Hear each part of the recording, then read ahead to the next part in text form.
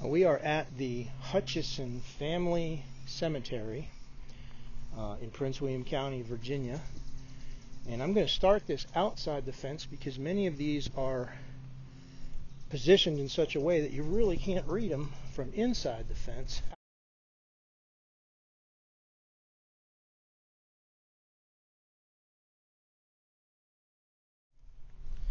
So we're going to do it this way and then I'll work my way inside.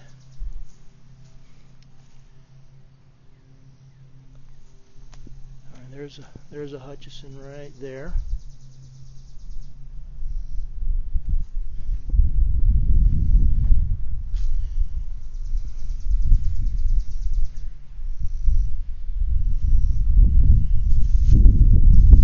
That one is from 1925 right there.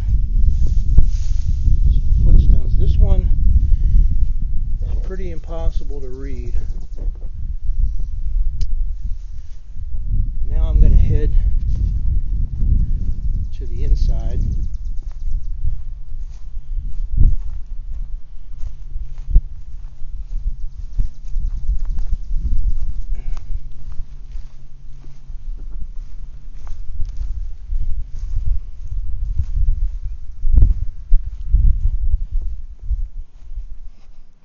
By the way, there is also an ancient house on this property as well.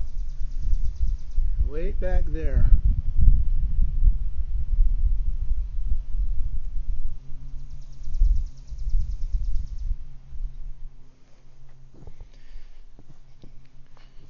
So as you walk through, the very first thing here is a bent over stone here. And that says Sarah Harper, about 75 years, died April 20, 1949. So that one's kind of bent over in the ground. Got a nice little bench here that's been knocked over at some point. But let's go check out these stones here. As you can see, it's kind of set up in nice little rows here. But can't read that. We have Gulix right here.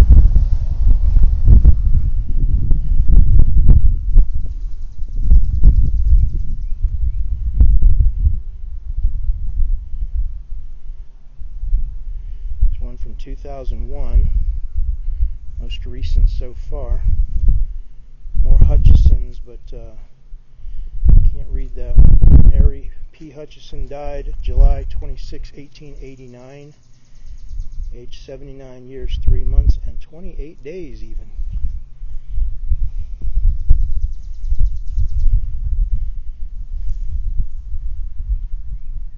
One year, 10 months. There. Let me turn to this one right here against the fence. Kind of the main stone there. And we have some children here. John G., 1808 to 1818, 10 years old. Elijah, 1804 to 1826. Julia A, 1812 to 1898. Oh, that's not a child there. William, 1801 1832.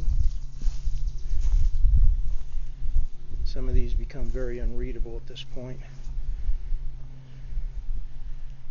That is a Latham. Sarah Latham. And I cannot read dates on it.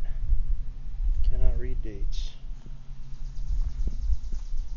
There's a Hutchison.